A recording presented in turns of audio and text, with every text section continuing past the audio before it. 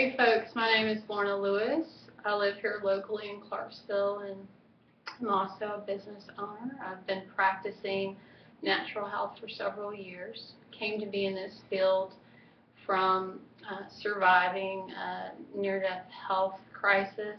My son also uh, was diagnosed with leukemia years ago. Around the same time, I was ill um, and as a little toddler. So we really came full circle, and um, I'm just really glad to be here. So with uh, my original degree, I studied art at Austin Peay uh, back in the 90s and through the, the mid 2000s. So um, I was able to raise little children and go to school, and then um, after my son became ill, I really focused on getting him better. He had years of chemotherapy. So we, we focused on that, getting me healthy. I went and I studied health and have been practicing this.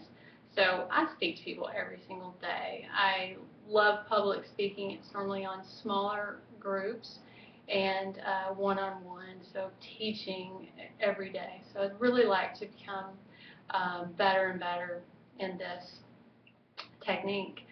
So this class is going to be great for me. It's something I need all the time.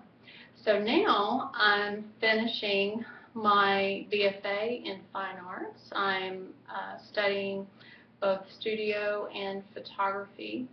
The photography has just been amazing. It's always been a background to portraiture for me, which is what I'm most known for, and studying in charcoal primarily and uh, oil paints. Uh, but now, what used to be my composition is now part of my art, so I'm really getting to learn the, the old and new styles, techniques for photography.